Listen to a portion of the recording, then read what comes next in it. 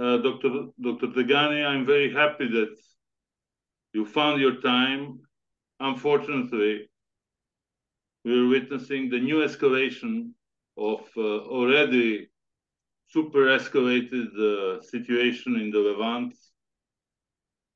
Only for, for people who randomly follow news from this region, the conflict started uh, on, on October 7th.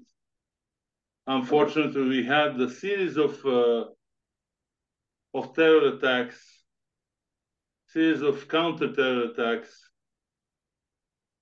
in the last uh, year or year and a half, especially when Netanyahu was re-elected. And uh, it seems that many analysts are ignoring the root cause of the problem. And in our initial conversation, we are going to tackle the the settler colonialism that you studied for decades, probably. So please. Uh, uh, it has now become a decade. Yes. Yeah.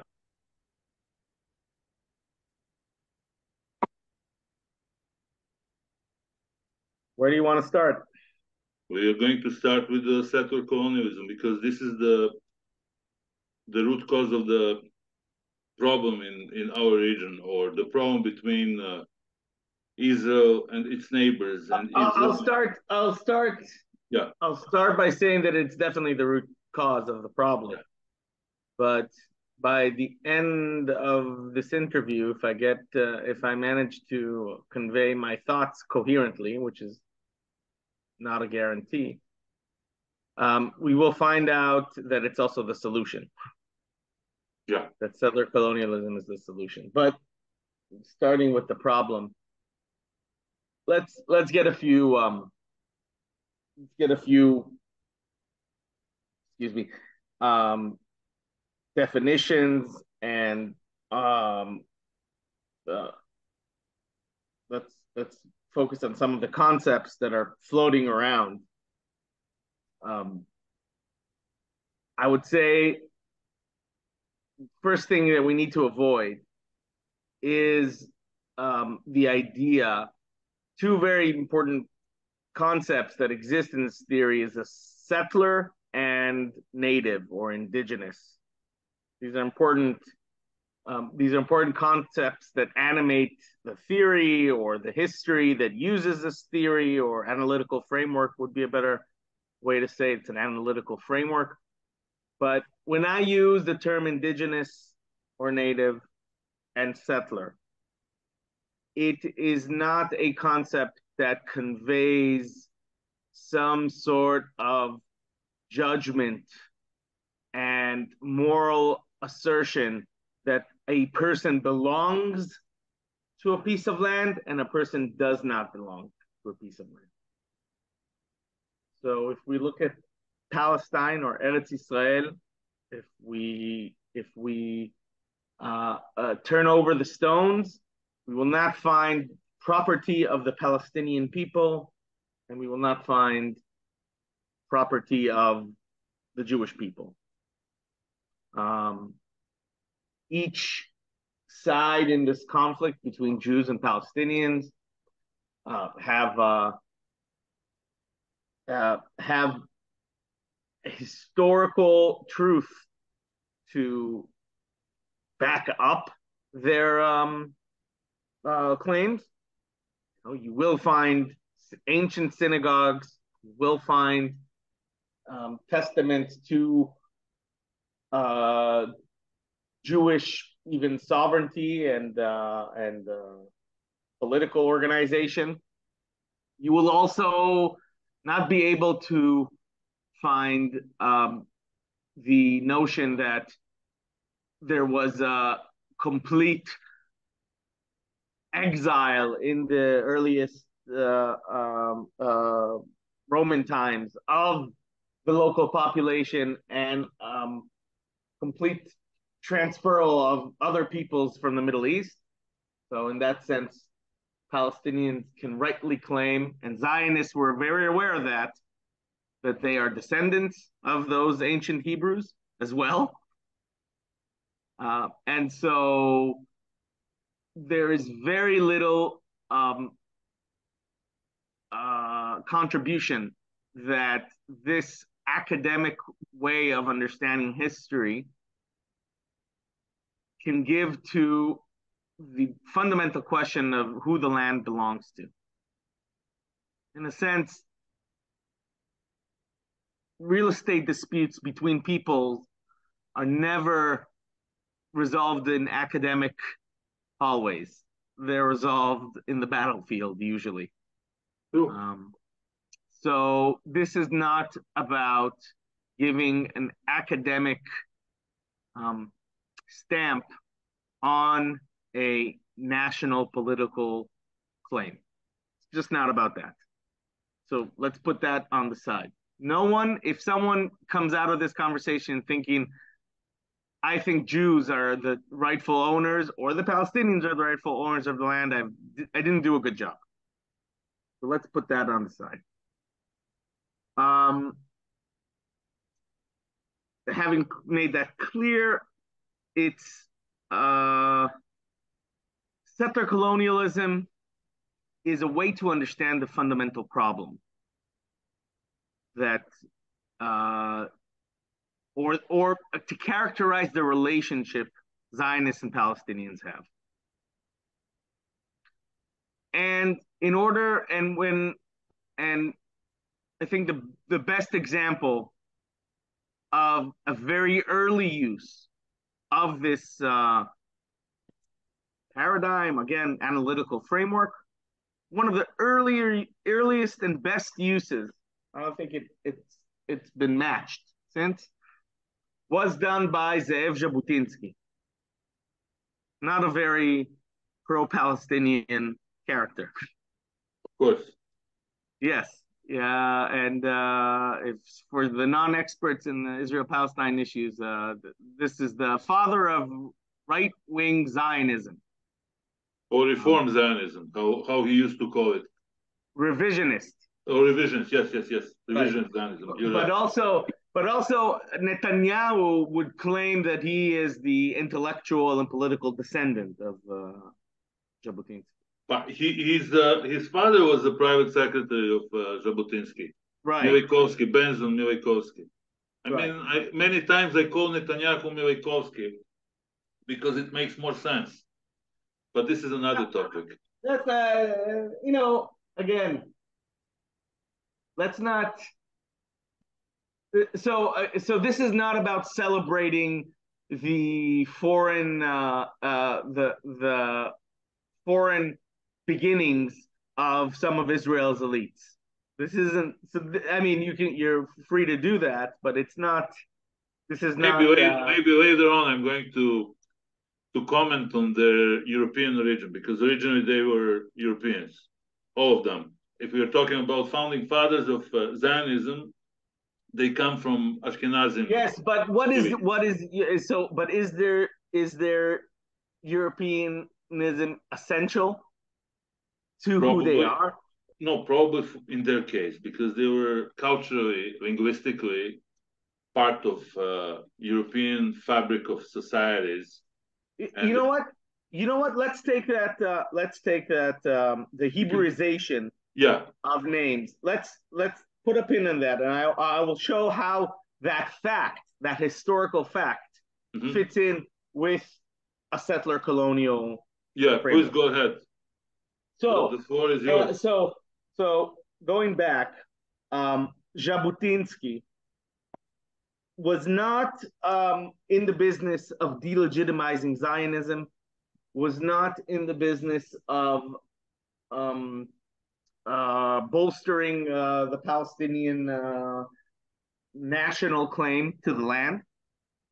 He was about to understand objectively, scientifically, level-headedly, right? Let's not Yeah. get our emotions and our convictions.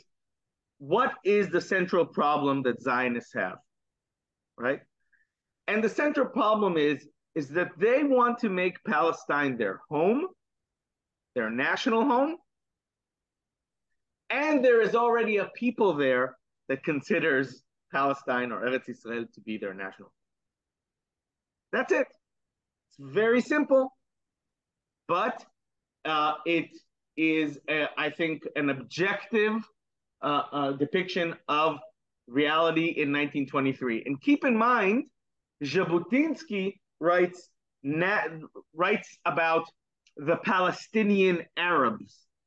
Of course. Meaning meaning Arabs that are that what makes them distinct Absolutely. is their uh, this is what so, I wanted to mention because so, people who people who live like yourself three or four generations in uh, in Palestine or Israel are also Palestinians no, nobody can refer to individuals who are third or fourth generation there as uh, but he, but he's not even saying but he's but he's going a step further. He's not saying as individuals they're palestinians. He yeah. points out that for them palestine is a national center.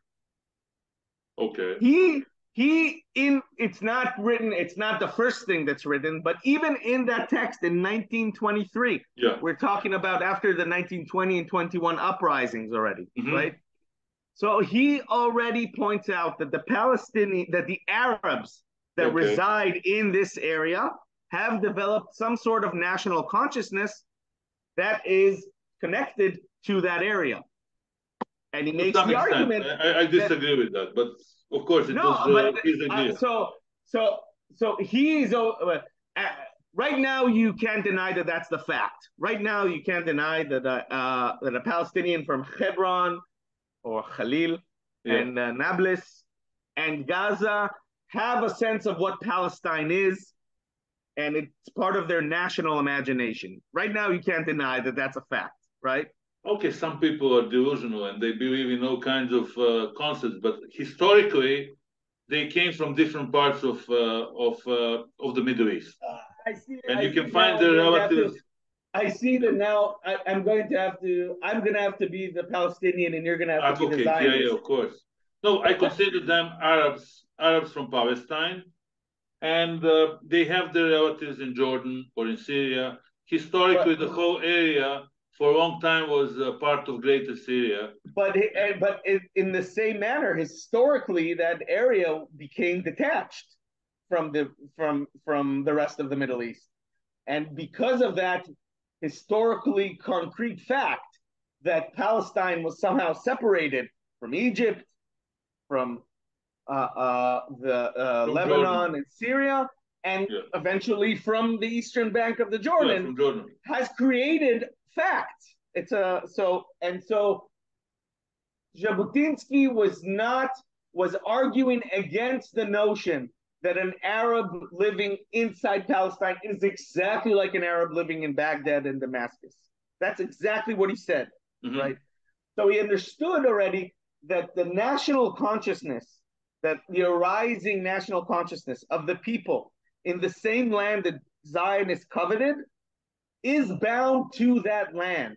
Not it's not um, um, uh, easily uh, replaceable with other Arab lands.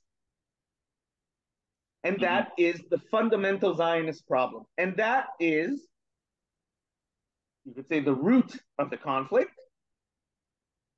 And that kind of antagonism, differing interests, um, differing motivations is the settler colonial situation. You have one you have one population that covets a land that that's not under its control, not politically, not demographically. The majority of the people, or I mean, the the consolidation of this movement depends on a mass movement of people from outside that area into that area. Yet at the same time, in that area, there are already people who are not very pleased with this plan. That is the central problem. It is a is, problem. Yeah, because that is the, the, that is yeah. that is the Israeli-Palestinian conflict in a nutshell. I don't see Judaism versus Islam to be no. the main cause here. No, it's not. Not East versus West or anything like that.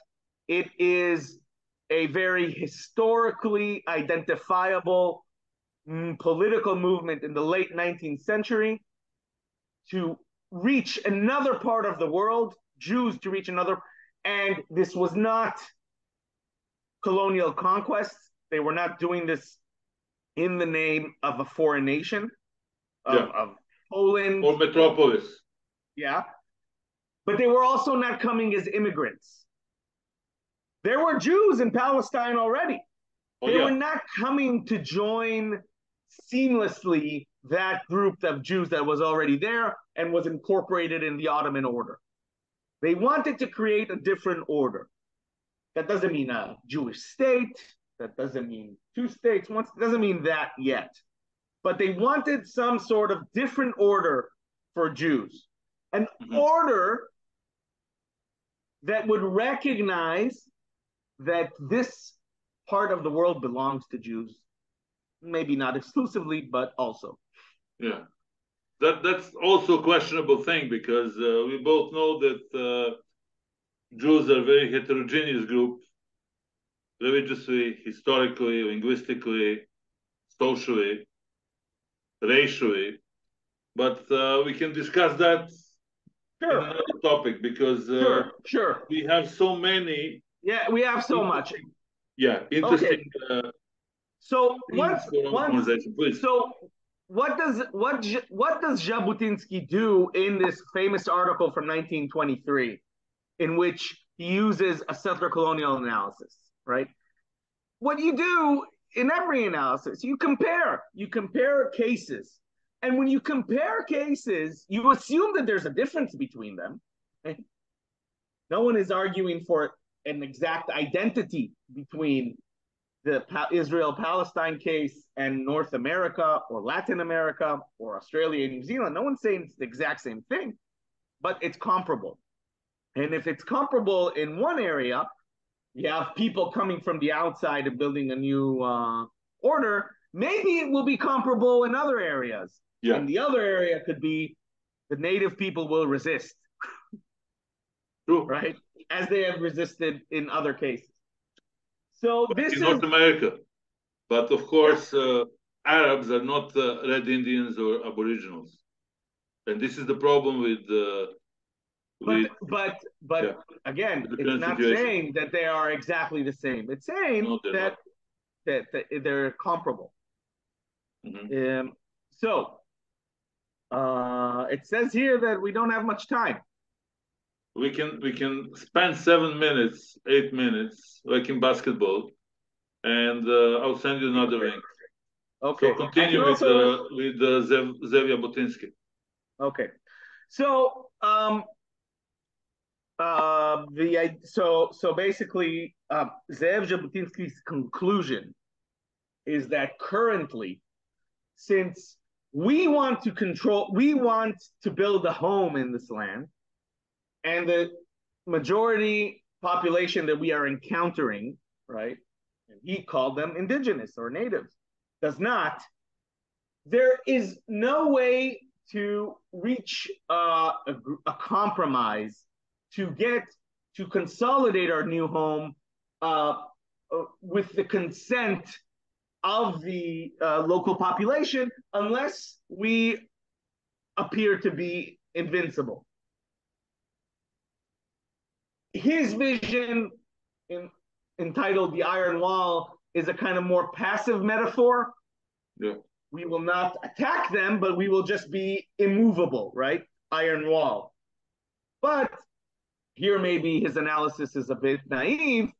There's no such thing as a pure defensive ethos or a purely defensive uh, uh, military s strategy, right? So we need to be strong. And only once the Palestinians, the Palestinian Arabs, realize that we can move away, then they'll start compromising with us, and th- that will be the time to start compromising with them. And if you read the text, you see we will have everything will be on the table. Like even issues of of of I would say, from what I read between the lines. Again, this is 1923. Could not have imagined 1948 but you can but you can see that everything, including the the uh, um, uh, uh, some sort of binational arrangement. How does this country contain, and how does the the the states that will control this country contain two national entities that he was willing to recognize exists, even even when many Palestinians did not recognize. So uh, that was Jabotinsky's argument. Now, um, where do you where should I progress from here? Um, uh, so, at, so after saying that, we've I've definitively proved right that at least the way I read um, settler colonial analysis does not require you to suggest that Jews do not belong there, that Zionism is uh, uh, inherently evil. Project. Right. Yeah. It's irrelevant. What I think. Yeah. I, I personally now, believe that uh, we had many combinations and many plans in 19th and 20th centuries what to do with particularly European uh, Jews or European Jewry.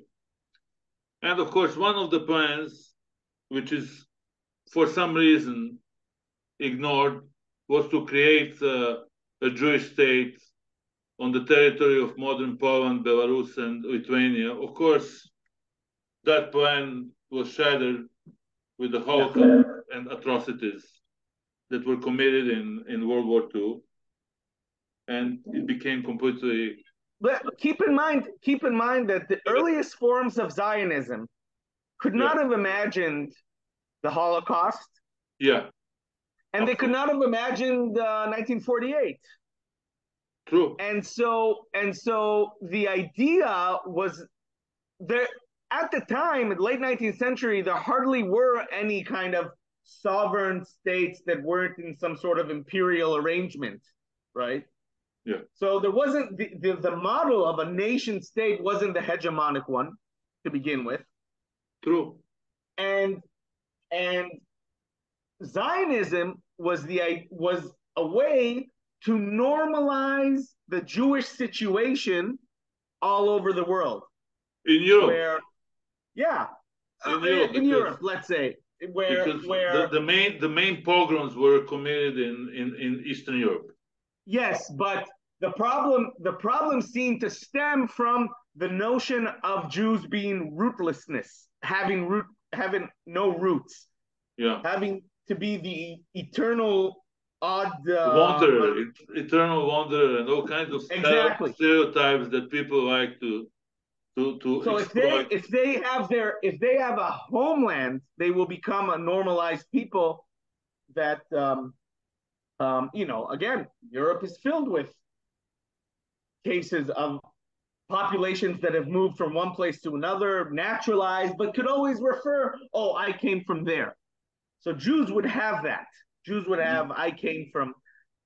Anyways, um, returning to the settler colonial theory um, or analytical framework, uh,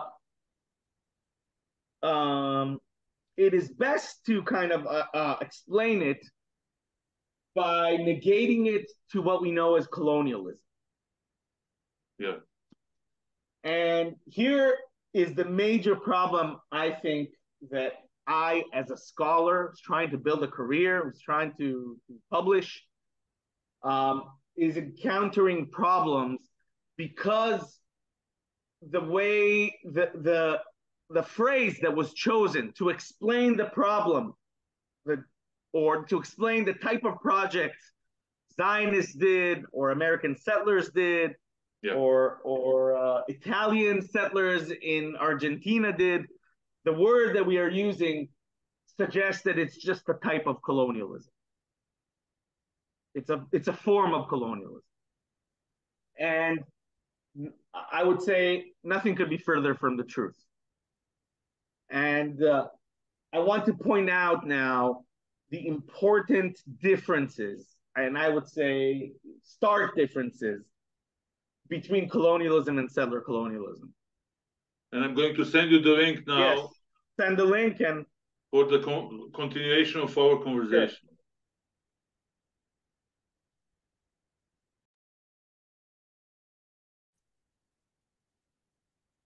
We are continuing with uh, settler colonialism, and people probably think that uh, settler colonialism is the same concept as a regular colonialism, like uh, the British India or or British right. presence in in the Middle East during their mandate uh, phase.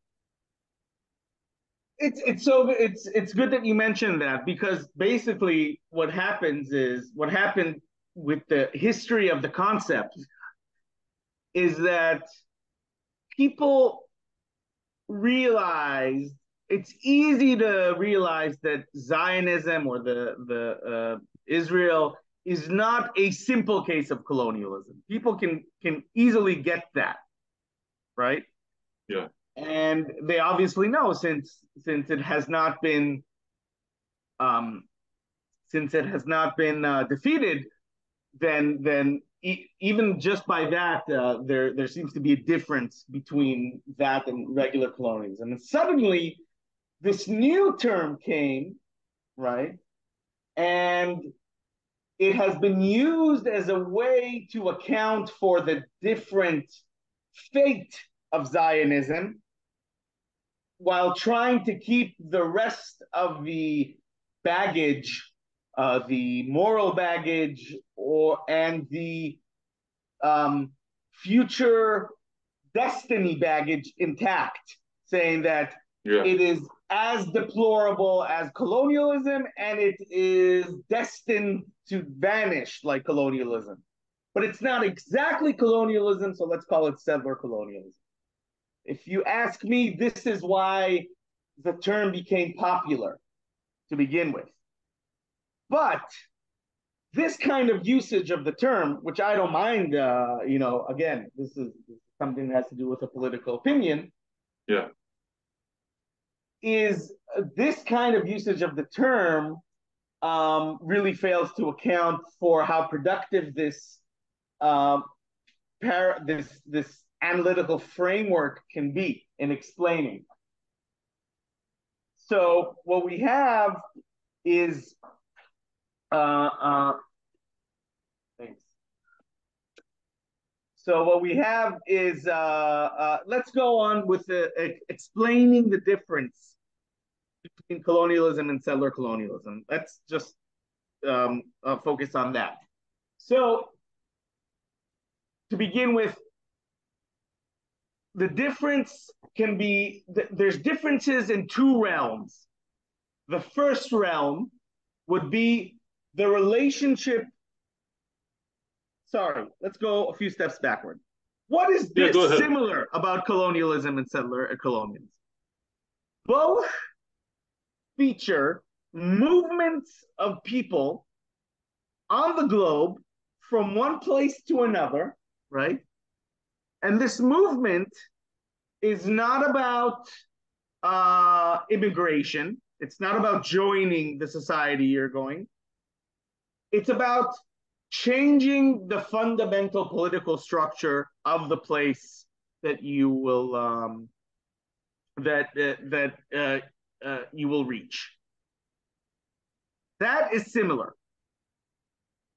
but the differences can be found in the relationship between the the people that are leaving that place to go to that new place and where they came from, how they relate to where they came from, and how they relate to the people that they encounter.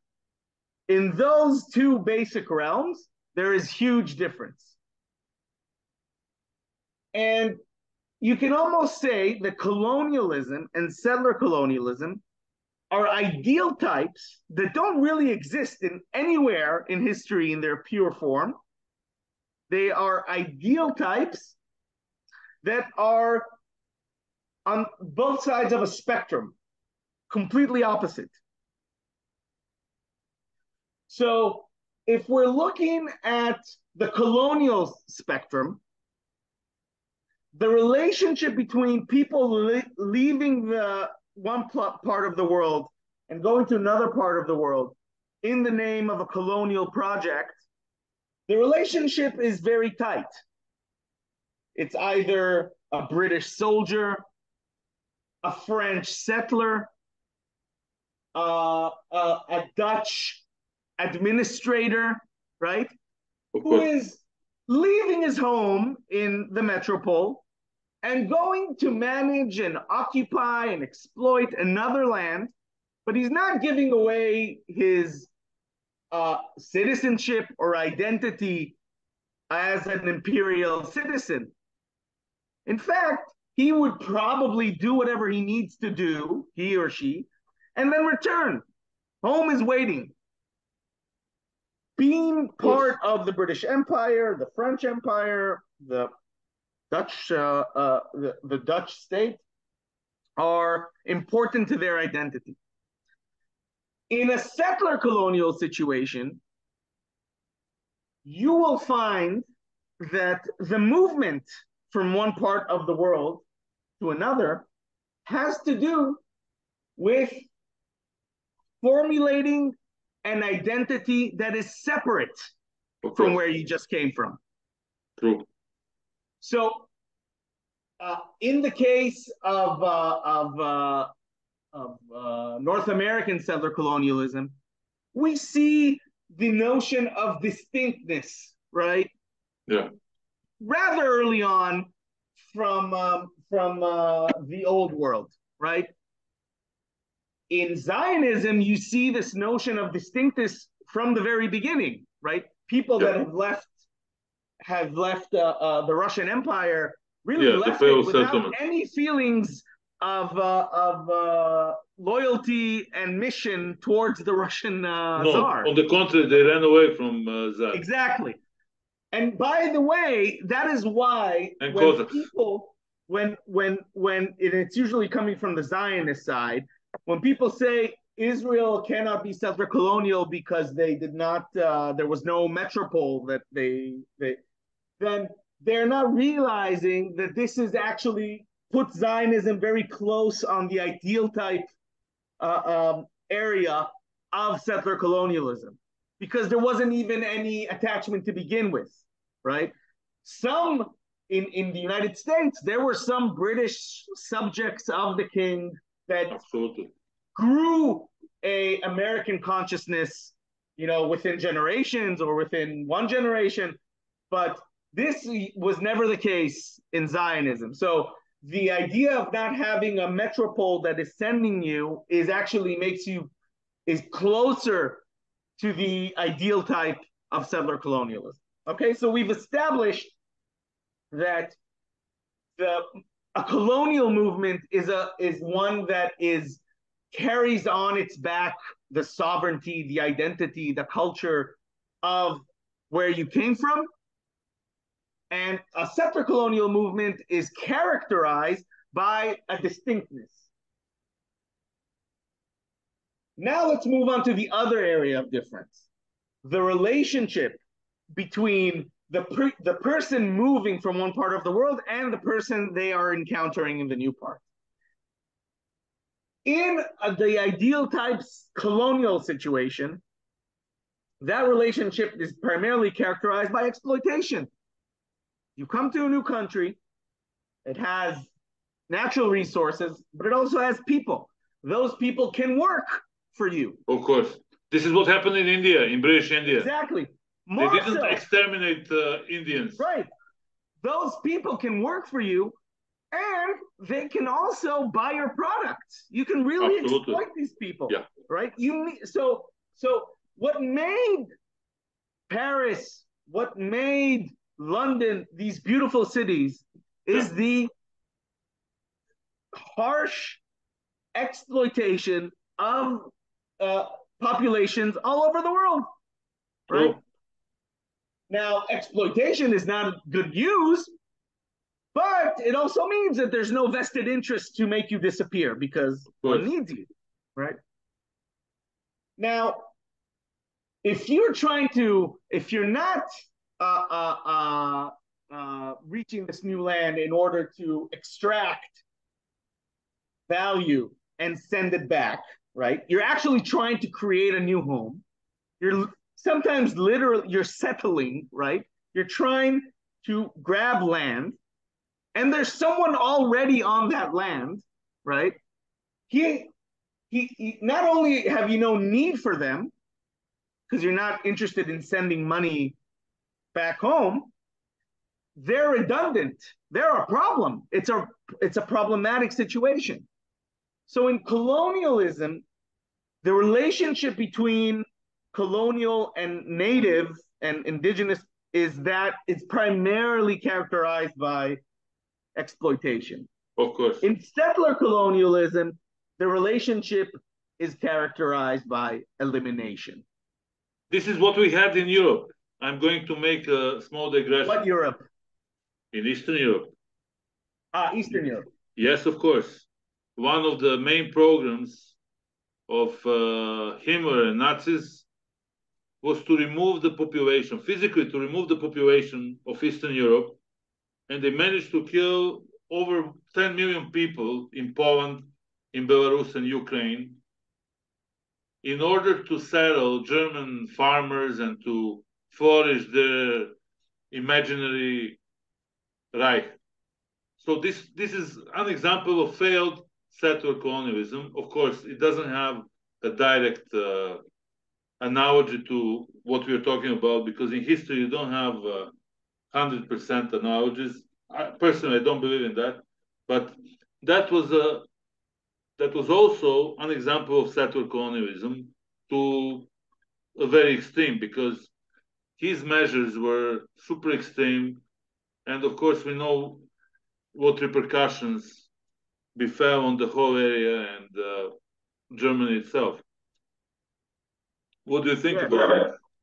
Yes.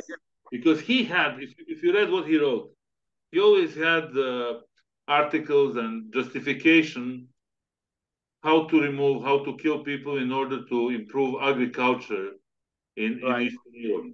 So in order to improve agriculture, you have to kill 15 million people and to depopulate another 3 million people. My grandfather used to tell me the story that uh, Nazis used to plan for Serbs a complete withdrawal behind the Ural Mountain. And when I was a kid, I thought it was some kind of uh, science fiction or he exaggerated. But in fact, later on, when I studied the subject, that was the plan. So they also had their own uh, racist uh, settler colonialism, which thankfully failed. However, ho- however, however, I think we have an example here of a structure that doesn't fit that well with either colonialism or settler colonialism, because it's true that the Nazis were not about exploiting the populations, even though I think eventually that's what happened. It's not they had to exploit. Yeah. But it was not about creating a new political entity, which is what settler colonialism is. You see what I'm saying? Yeah, yeah, I so, agree with so, that. No, no. So they were just so, removing populations yeah, left and right. So True. while there is while while while I know hit for a fact that Hitler was inspired by the depopulation of the Americas by settler colonialism. Mm-hmm. That doesn't necessarily mean that he was engaged in a settler colonial, but it does mean that genocide and ethnic cleansing Absolutely. were part yeah, yeah, are, are, are, are methods that are used by different historical formations and different uh, historical entities. But settler colonialism, in as much as it has to create a new home, will find the people that already have a home there to be a problematic population. And so elimination versus exploitation. Sometimes yes. these two things can can can overlap. If you if you eliminate half the population, maybe half of the other half will be more a more easily exploitable because they would be. Yeah, they, they, they right? would become slaves. Right, exactly. This so is what that doesn't mean what Nazis uh, planned for Eastern Europe. Exactly. So that doesn't mean that these two are mutually exclusive, but at least analytically it's distinguishable, right? Mm-hmm. And um, and I would say that so so uh, um, have keeping that in mind, it's a good now it's a good time to delve into what elimination means.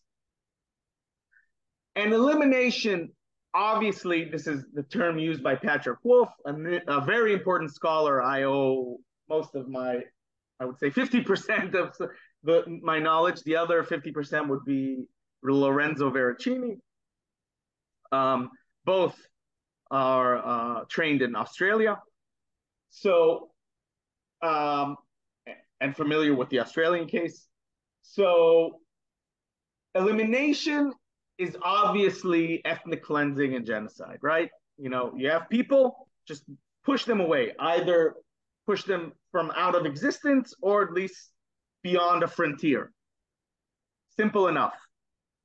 And but here's the here is, I think, the most important part that people often neglect. Elimination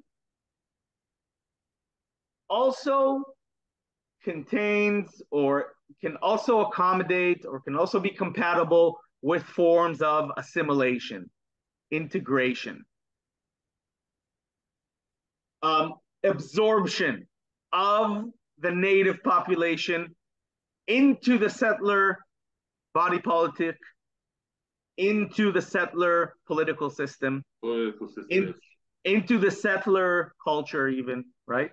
And of course, this absorption is not into the highest ranks, but is it is intimate.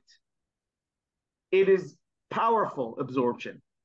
This is not it this qualitatively different than certain co-optations that colonial powers did with local populations and usually uh, lords, right? Mm-hmm. In which local populations were somehow um, were somehow uh, um, incorporated into the imperial rule, right? But in colonialism, the hierarchy of citizen of the metropole, subject of the colony, is is very important. Of course. It it is what This exploitation this is, is premised essence. on. This is the essence of uh, that type Essence, of right. colonialism. Yes. Yes, yes.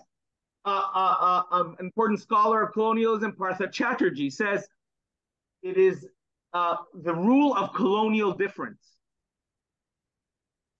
That is what modern colonialism is about. I mean, there were empires before the modern era, but a colonial empire of the modern era is distinguishable in the fact that what constitutes it is the difference between the European and the native.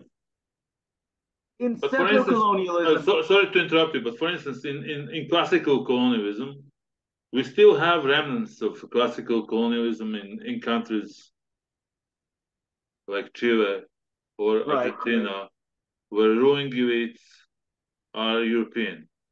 Or in, in case of Argentina, 90% of the population are Europeans.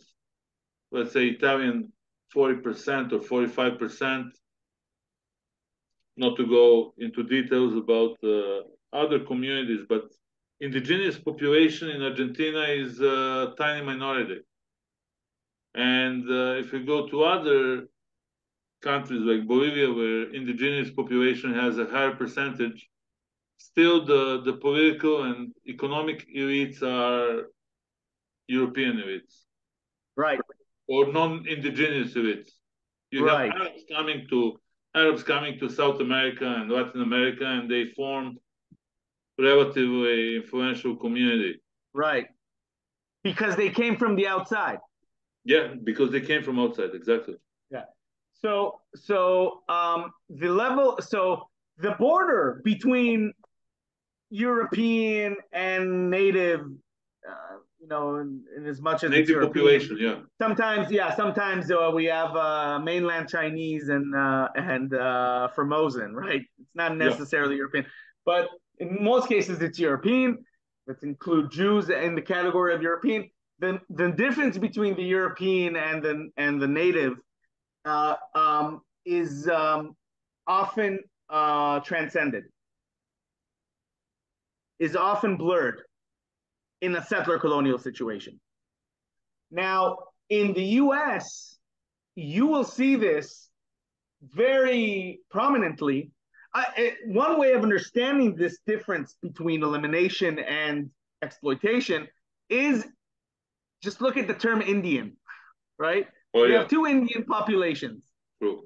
One in India, And, and, the the, Red Indians.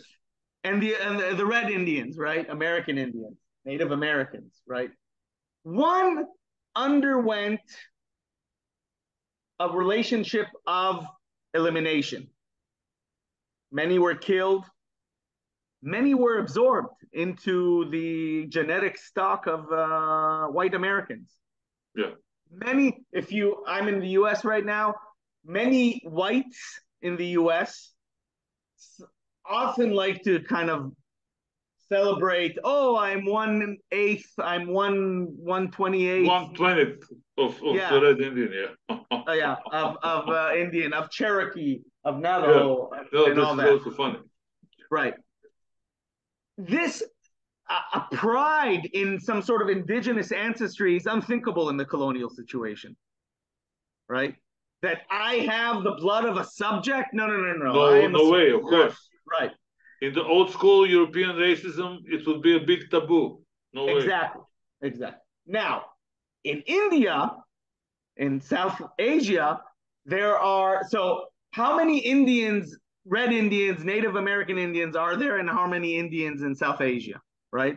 So one went through colonialism and was primarily um, um, was primarily uh, exploited, and the other went through settler colonial and was primarily eliminated.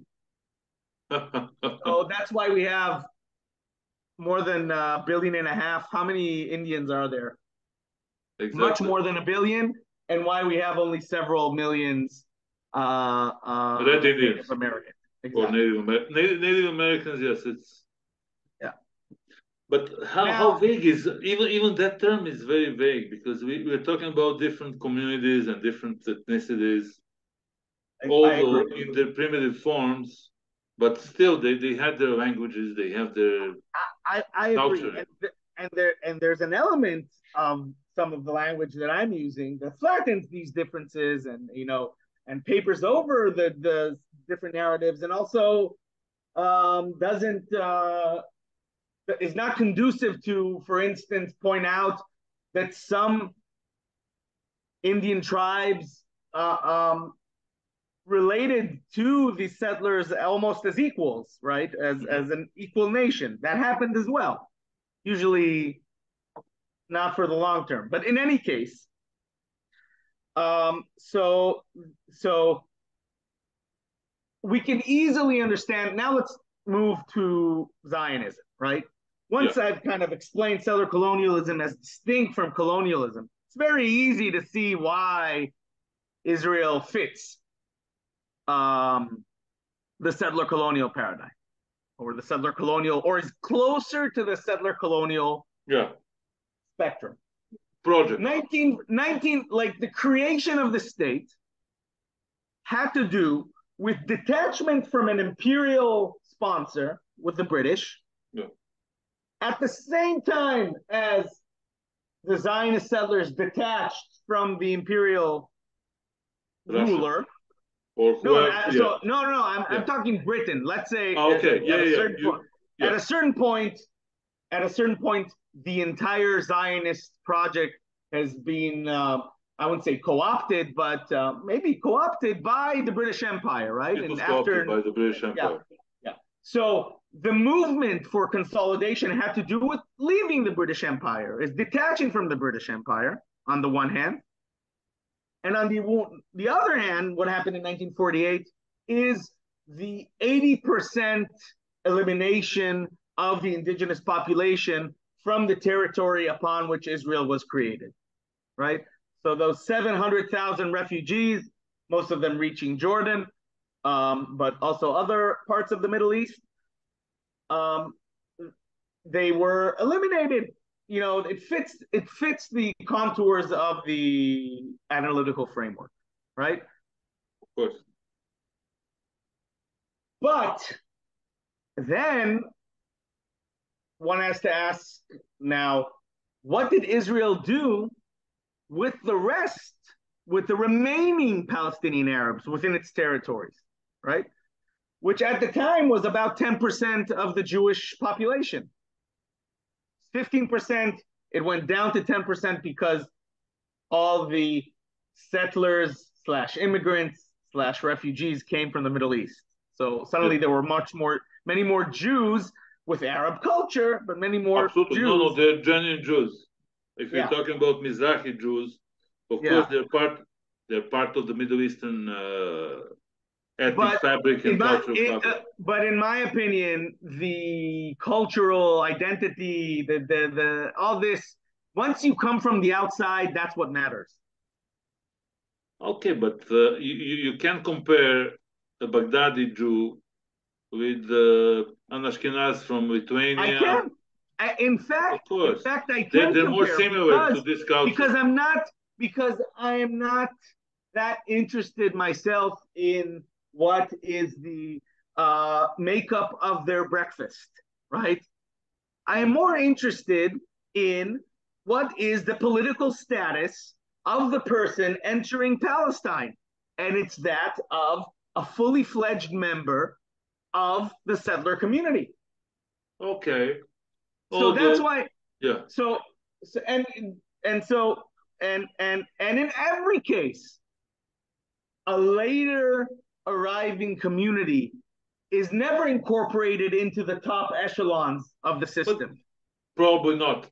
But uh, for instance, I personally believe that uh, Arab states, Muslim states, when I'm talking about uh, these events, I'm referring to Iran, made a mistake by expelling uh, Jewish community to Israel.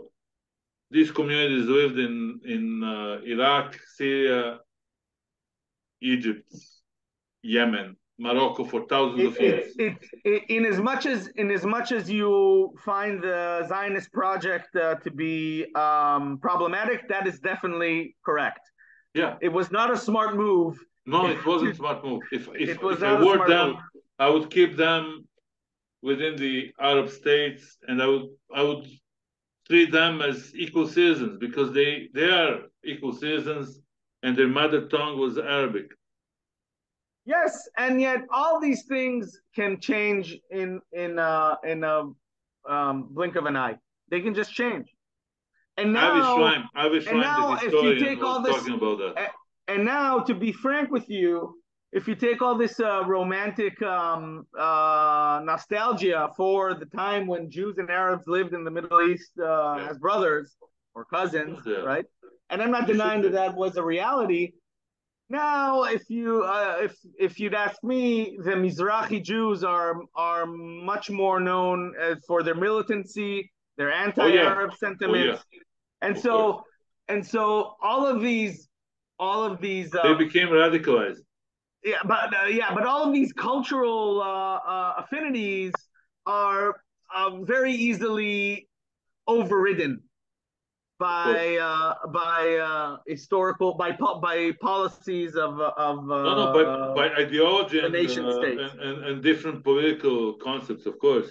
yeah exactly. So in any case, Yeah, go ahead. But Let's I'm return- let's to refer- return to- For instance, in in uh, in in Tsarist Germany, Ashkenaz were very respected and they were relatively integrated into society. I would say they were very well integrated into society, and even during World War One, they they had uh, all kinds of uh, rights that were performed for them within the German army. Yeah, And, yeah, yeah. and suddenly, and suddenly, it switched in in ten or five years. Yeah. So yes, you're right that things can switch quickly in, in a nick of second, not in five years. right. I agree with you.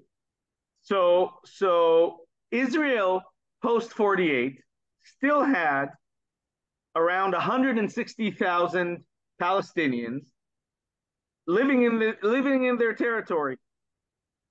These are Palestinians, some of them evaded the Nakba, some of them experienced the Nakba but remained within the borders, internally displaced. Mahmoud Darwish Of course. uh, is an example of that. Um, and others uh, returned. More, Yeah. we're talking 20,000 people. Considering the total population of Palestinians at the time, that's quite a quite a few people that managed to return. And so Israel still had an indigenous problem. And it catered to that problem like in a, in a, in a fashion that is consistent with settler colonialism, not, not a colonialism. How? It granted them gradually citizenship. Of course.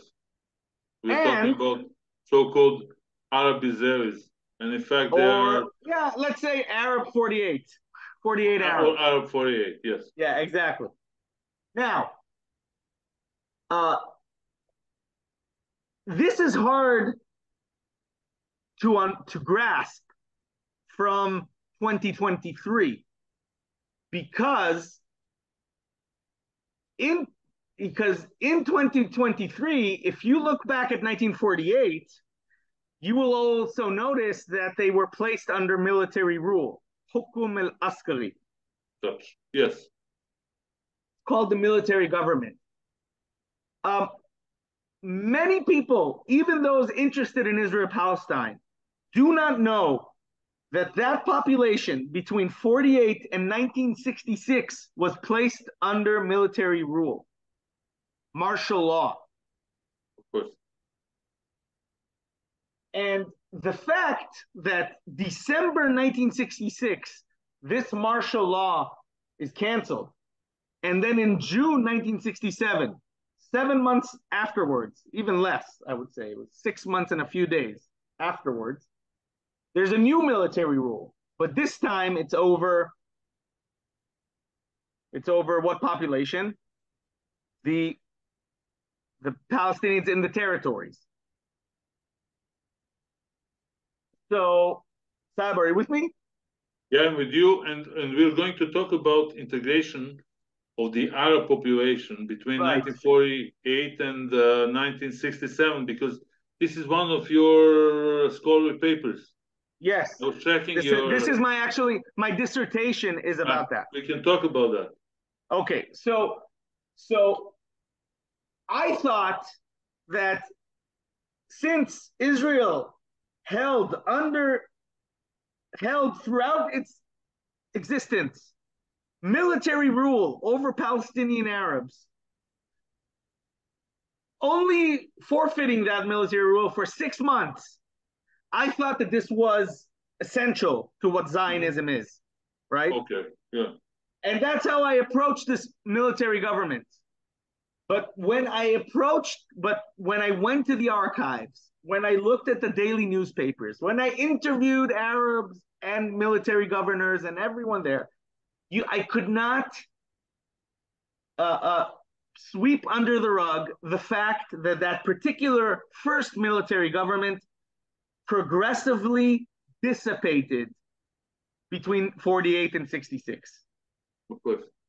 Very different from the military government that was created in 67 and exists till today. Yeah. That military government disappeared.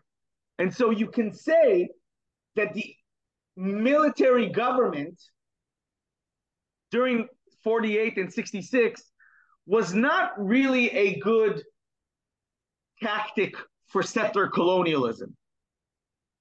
Its dismantlement was the settler colonial policy. That is that is uh, uh, uh, something I argued in the in my dissertation. That giving citizenship was one thing, that was the Mhm. momentary decision, and had to do a lot with international law and and being accepted to the UN. But getting rid of the military government, which is by 1966 is the Zionist consensus. This is Mhm. not a hugely controversial topic. Begin is against it, and of course the left is against it, and of course the Arabs are against it, Yeah. and it just disappears. Not without any. No prime minister was assassinated at that in time. the Yeah. attempt to do that. Yeah. Right. And so my realization is that Israel between 48 and 66, what happens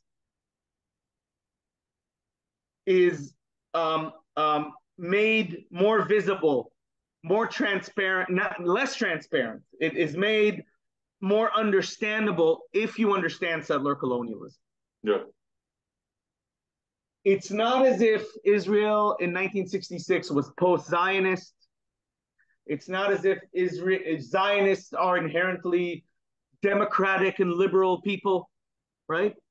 It's because Israel and other settler colonial nations have found that the integration of a Palestinian or uh, of a native population Arab population. is a very good way is in a, is in is in a very is a, an efficient way Yeah.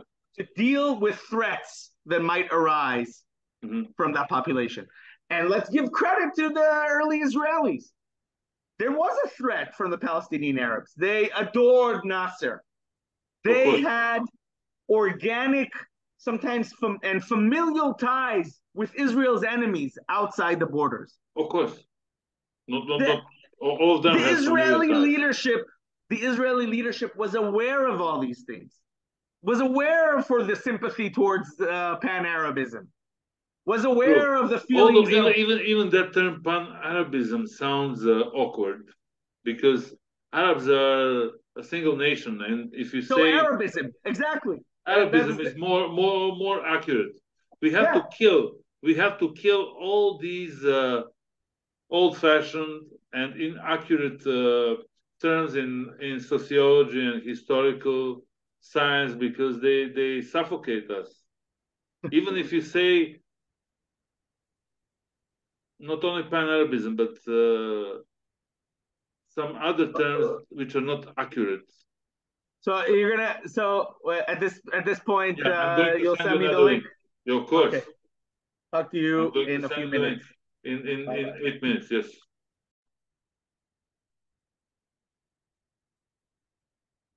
Now I'm starting. Yeah. So where were we? We we were talking about uh, about uh, colonial difference between colonial uh, Right. And so in 19 so colonialism, classical colonialism, and Israel, colonialism. Israel, in, Yeah. yeah. Yeah. So Israel in 1948 and the decades following it really um, uh, approximated an ideal type settler colonial Yeah. state. Um, it got rid of the majority of the native population by force, and those that remained were incorporated very slowly, not completely on equal terms, but they were incorporated. And I think that by 1967, the term Arab Israeli was used for self identification. Arabs in Israel felt like they were Arab Israeli. And some still do, till today. Then we all know June 1967 war happens. The war was, of course, the animosity between Israel and uh, the Arab states was structural. It, it didn't happen out of the blue. But the main causes were very much contingent. Uh, the Soviets were uh, were uh, uh, scheming, and uh, we, in hindsight, know that Nasser took a gamble. He thought that Israel will not attack, and it did, and it did attack. Israel was very reluctant to enter this war. It was not confident that it would win such a huge victory. So it's wrong to say that it was um, destiny. It was inevitable. Mhm. And yet it happened. And once it happened, Israel ended up controlling much larger territory that had a much larger indigenous or Palestinian Arab population. And then Israel was faced with a dilemma what to do with this population. Once the dust settled, it was obvious that elimination, transfer, ethnic cleansing was not in the cards. I'm not saying people didn't wish for it to happen, but it wasn't there. And and frankly, there wasn't a high motivation for that. But there were two visions that were offered. One of them is by someone who, because of your uh, interest in archaeology, I'm sure you know on many levels, Moshe Dayan. Yeah, of course. He has a big, uh, I mean, he had the big collection of uh, archaeological artifacts. Right. He was passionate about uh, archaeology. Really? And, uh, unfortunately, unfortunately, he had uh, a popular belief in ex-Yugoslavia that he came from Sarajevo, but originally he came from uh, Eastern Europe, from uh, Ukraine. I see. So Moshe Dayan, who was at the time next to God in Israeli politics Yeah. and culture, even, um, he was really the chief strategist of uh, the Israeli Labor Party. And I he's, uh, and I've read a book that he he writes he, that he really pontificates. He he invests a lot of time thinking, what shall we do with these territories and the people inside of them? And he comes up with an idea of controlling the territory, settling the territory, not granting citizenship to the Palestinians living in that territory,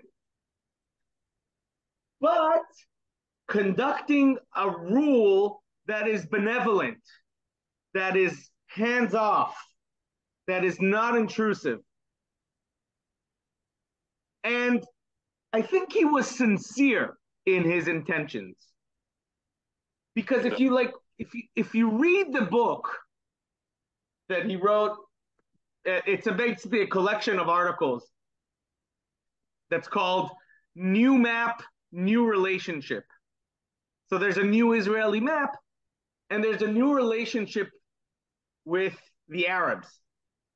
Suddenly there's a there's a new Arab population that Israel needs to determine how will it relate to it. And you could genuinely discern that he says, for instance, we should not um, we should not censor newspapers. We should not uh, be very intrusive with the curriculum. We should not have military presence in the Palestinians' daily lives. He's imagining a very distant, hands off rule over the Palestinians. And if you if and if you want to be generous with him, he has he might have what we can call good intentions. Yeah. But there was an alternative to there was an alternative to Moshe Dayan's um, uh, vision. That was Menachem Begin's vision of the territory. Now, obviously, he's from the right. He also believed Israel should control these territories. He also believed Israel should settle these territories. But he thought that the state has to grant the Palestinians in these territories citizenship. This is not some sort of uh, um, archive document that I managed to find because I'm a I'm a talented historian. This is in the 1969 platform of Begin's party, which would later be the Likud. Yeah. It is written there that the possibility of citizenship needs to be given to anyone. Annexation and citizenship. So we have Dayan, Dayan's approach, which is control without citizenship and without intervention into the daily lives. Mhm. And we have Begin, who says control, citizenship, and in a way, citizenship, being part of the state, is the most intrusive Yeah. policy into people's lives. The Labor Party with Dayan got 56 seats in the Knesset. Begin got 26 seats. Israelis chose control, settlement, and no citizenship. That's what they mm-hmm. chose. Yeah. Gradually, what we see happening in the relationship between the territories and its population and Israel is a relationship that resembles more and more a colonial relationship, not a settler colonial. Mhm. Very quickly. And Dayan points out, Dayan says we need to give them jobs. Right? Very quickly, the people in the territories become incorporated into Israel, but not as equal citizens, as cheap labor. They become part of the economy. Their, their markets are flooded with Israeli industry. Sounds familiar? Of course. Right. And the and as we know, with every colonial relationship, in that, in, in, as much as we understand uh, a modern variation of colonialism, which is premised on difference and exploitation, we see what happens every time. Within 20 years, the Palestinian Arab pop, the Palestinian population of the territories, which was relatively passive when compared to other Palestinian communities around the Middle East, becomes the center of the Palestinian national movement. Colonialism is one of the best means, most efficient means in creating an antagonistic national movement against an occupier. It's it's tried and uh, uh, uh, it's it's tried and true in uh, 200 years of history of colonialism.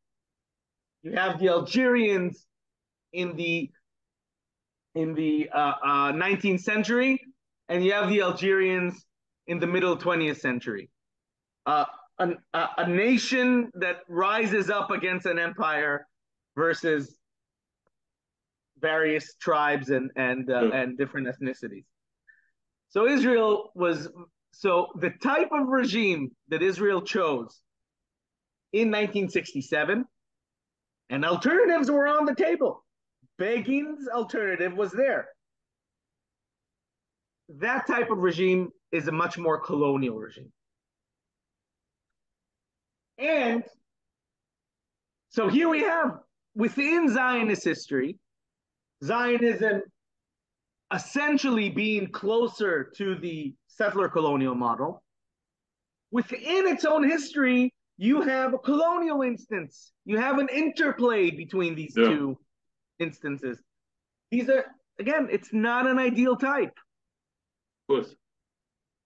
Now, what is very interesting is that Israel starts to settle that territory, right?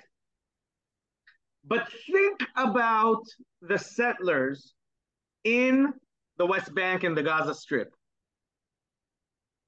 What is their relationship to Israel? What is their relationship to the place they are li- leaving? Yeah. Is it antagonism? Are they running away as refugees from Israel? Or is Israel sending them there? Or do they see their their mission to extend Israel's borders? Right? I think they yeah, I think it's a combination of many factors, but probably the the former one uh, yes. is the the major motive because right. they they have a messianic uh, idea of expanding uh, Israel to Judea and Samaria and further. They can come But- to, to, to, to my area. The, the messianic ideas, the, you know, in the margins of the Yeah. settler movement, there is a messianic movement that really sees Israel as as as a problem. It's a secular state, True. right? So those, I would say, that very kind of radical uh, uh, minority, those are settler colonial. Yeah. But the mainstream settlers, many of them are not even religious. Of course. Many of them, many of them are Russian immigrants that are that grew up in atheist uh, uh, environment. Environment, yes. Yeah. They are just we're citizens, and this is another place for me to settle. And I am an Israeli citizen, and I'm doing this as a service to Israel. And so there's a complete identity, right? So the fact that there are settlers in the West Bank does not mean that the colonization of the West Bank is a type of settler colonialism. Mhm. In fact, these settlers should be. This is Lorenzo Veracini's um, way of phrasing it. They should be considered colonial settlers rather than settler colonial. hmm And all of this just complicates. Already Just complicated Yeah, situation. exactly, exactly. Uh, believe me, if it was up to me, I would not call it settler colonialism. Mhm. because it it uh, uh, uh, obstructs uh, a clear understanding rather than contributes to. I would call it settlerism, right? Mhm. But uh, the fact Because they do, actually, they do fight building by building, hill by hill, village by village, territory by territory, and probably those uh, kahanists think that they can clean, cleanse the territory left and right for next 200, 300 years from yeah, current day borders all the way to East Bank and further. yeah. If they manage But- to fulfill their dreams. But but Sad, so yeah, in as ahead. much as there there's continuities between post 67 and pre 67 Oh yeah. Zionism. There's continuities. But what settler colonialism as an analytical framework that's distinct from colonialism helps us is to look at the differences between before 67 and after 67. And for some people, Zionists or right wing Zionists and Palestinians, the notion that there's a difference is not something that they're politically comfortable with. Anti Zionists would like to say that Israel has always been awful. Nothing really changed. Pro Zionist uh, commentators like to think that Israel has always been wonderful. Nothing really changed. But this set of analytical tools allows us to point out at a difference. Not saying that it, that colo- settler colonialism is good or that colonialism is bad. I'm not saying that colonialism is good and settler colonialism is bad. I'm not, these are not even terms that are worth using. I'm saying that they're distinct. And one has to ask themselves a question Where on earth do we have a approximately ideal type form of colonialism today? All over the world. It's only one place the West? Bank and uh, no, the West Bank. Okay. Even I'm not saying that this is the worst humanitarian case in the world, and you know, one can argue that it is, but I'm not saying that. It's not the case of political oppression or anything like that. But the oppression of the Uyghurs, for instance, for instance, in China, or the Tibetans in China, Yeah. or the Ukrainians in occupied um, Crimea, right? Of course. Is prem is Which premise is a bit, it's a bit different question and different uh, no, concept. but whatever is happening there, right? The subjects of oppression are considered citizens of that state, True. members of that nation. Yeah, they're second class citizens, in fact. If they if, if they don't consider themselves as Russians, they they definitely cannot identify themselves uh, with, with the new regime and with uh, Putin's True, regime. but the in new regime, but the new regime propagates a a, um, uh, an, a world view that they are Russian citizens oh, and yeah, they are, yeah, and and Israel does not propagate that with the Palestinians. no, this is different different case. Exactly. You cannot compare So, so situation in Ukraine with situation uh, in in in Levant. So what we have to understand when when when we have this kind of tool of settler colonialism and colonialism as distinct, Mhm. we can still argue that Israel has a vested interest to eliminate the Palestinians. And as much as uh, and as much as uh, um, uh, you know, it, it, it is an explosive topic. The idea, if there's a genocide happening now in Gaza, are there intentions of genocide? You cannot deny the fact that there are top Israeli leaders who are advocating for it. Of course. People that sit in the decision-making table. You cannot deny that there is a, a genocide or at least ethnic cleansing sentiment. You cannot deny that. And so settler, so so we're still in the settler colonial paradigm in general, where one way for Israel, for the for one way for Israelis to solve the problem that they have is to just let's eliminate the Palestinians altogether. That Ah. continues. But one has to ask, did what the Israelis do between 1967 and 2023, did that lead Israel to that position? And it did not. Of course. It did not decrease the number of Palestinians, and it did not make Palestinians more amenable to Zionism. It did the opposite. So while Israel might have always had settler colonial intentions, after 67, it is employing colonial methods that will not achieve a settler colonial objective.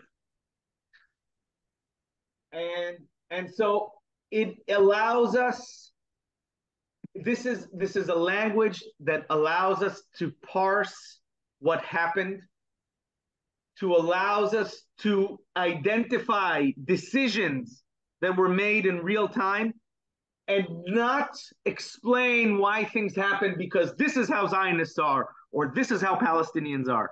Of course. And it also helps us, for instance, to look at other in, to to to really understand deeply what is the vested interest in certain policies, like two states. This is very pragmatic know- solution, yeah. Two-state solution is, uh, let's say, pragmatic solution. But what is the two-state solution? In the language that I'm pointing out, Yeah. it would mean the withdrawal of Israel or the decolonization of the territories True. But it would also mean the consolidation of the settler colonial project within 67. Mhm. Because you will eliminate 5 million Palestinians, not by killing them, No. not by transferring them, not by absorbing them, but by redrawing your own borders to keep them outside. Of course. So you see how these terms really allow us to understand um, certain Zionist visions uh, in in with with the language of interest, not kind, being kind, being uh, uh, uh, pragmatic, ruthless, but uh, pragmatic, yes, but understanding why there would there is still a large number of Zionists, and including the one you're talking to, who believes, who who advocates for a two-state solution because it is obviously because I see it in, in my best interest.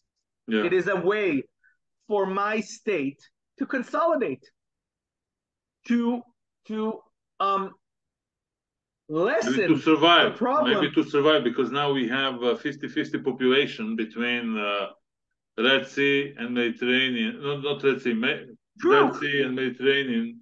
We're But talking then- about uh, Arab population and Setu population. but Saib, Hmm. keep in mind, there are other options, like a binational state.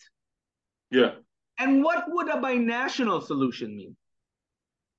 First of all, those I, I, person, I personally support binational solution. excellent. I support one one state solution. Okay, excellent, Saib. So if you support one state, Yeah.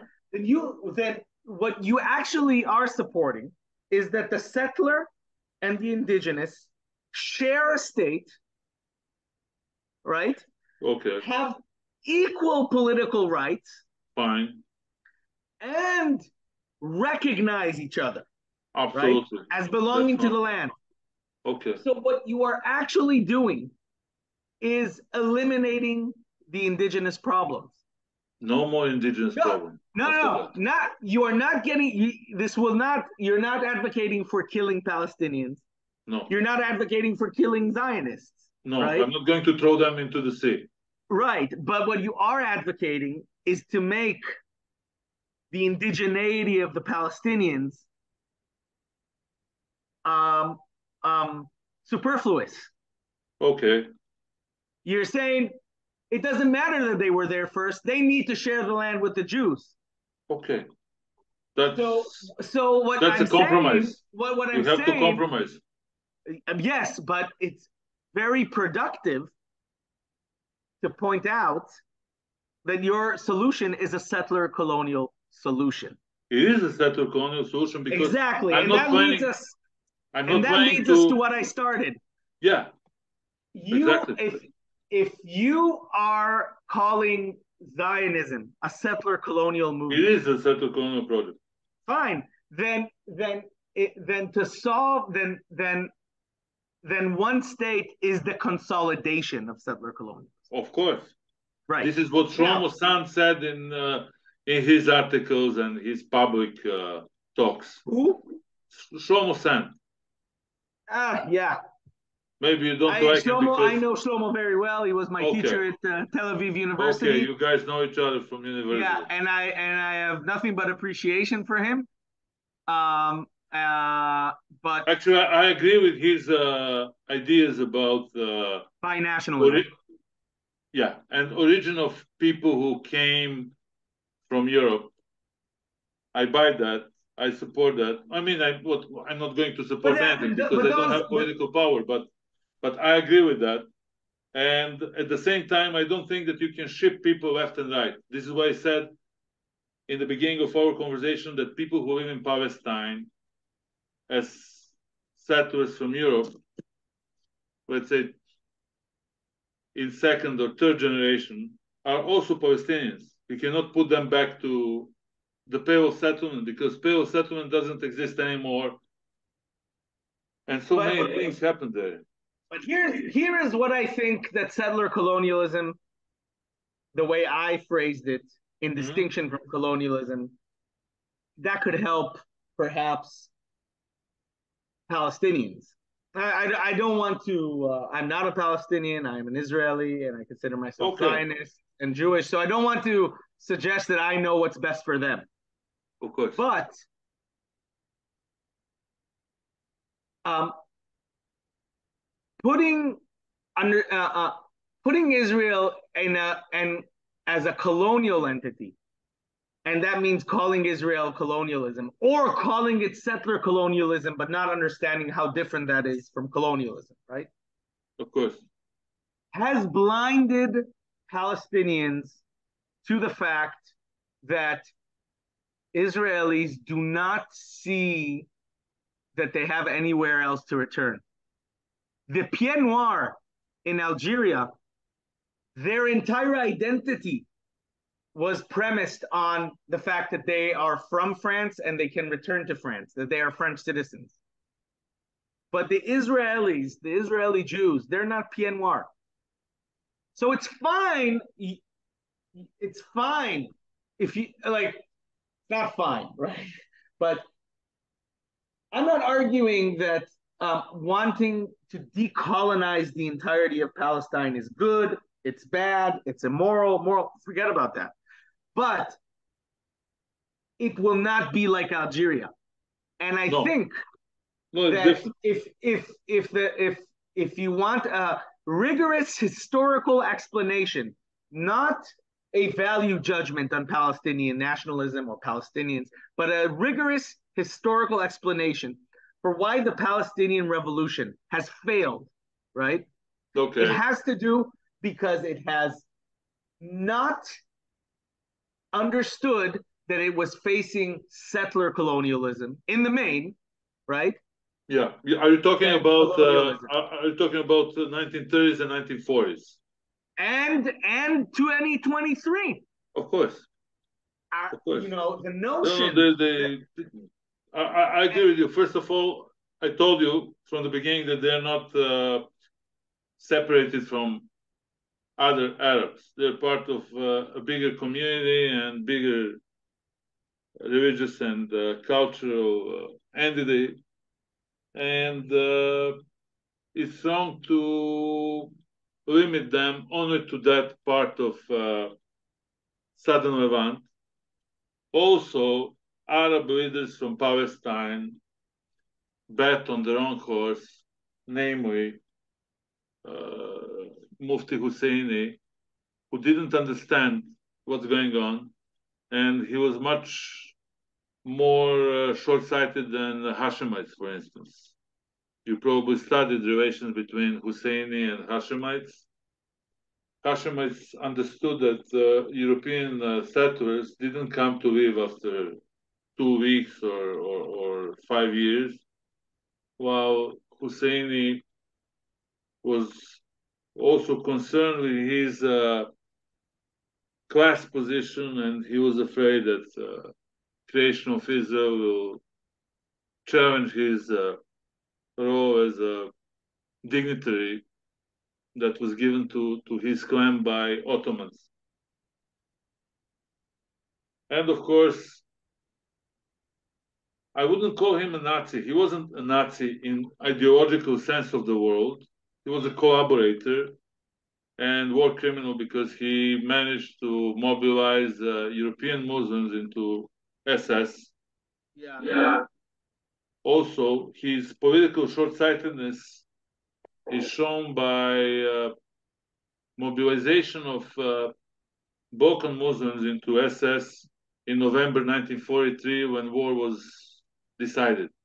So they were fighting from 1943, late 1943, until April, May 19, 1945, for completely lost cause.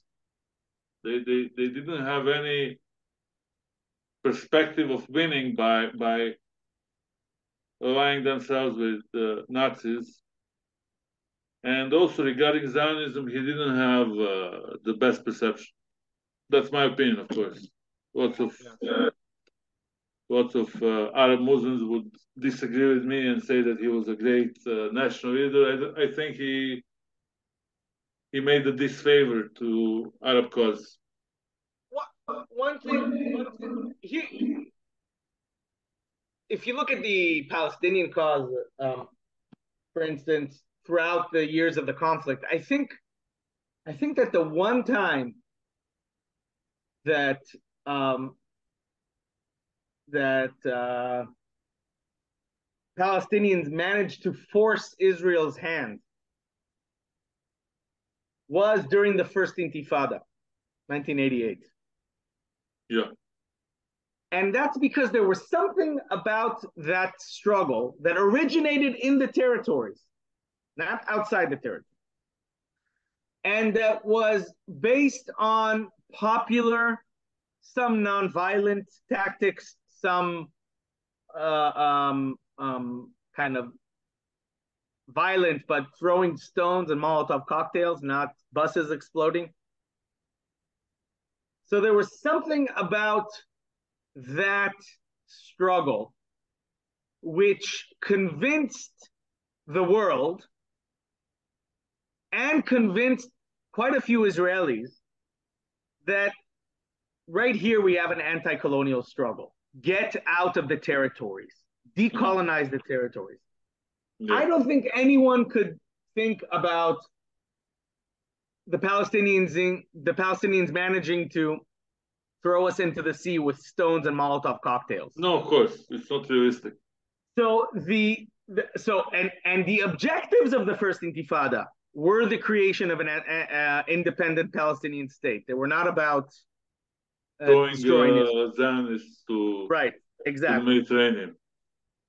Um, so, so in as much as the Palestinian struggle manages to convince Israelis, the world, themselves that this is that that there are limited anti-colonial objectives, then there's a lot of potency. Yeah. If the if if the entirety of Israel is considered